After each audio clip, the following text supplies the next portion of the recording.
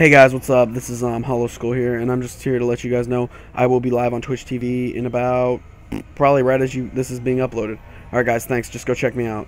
Link will be in the description. Bye.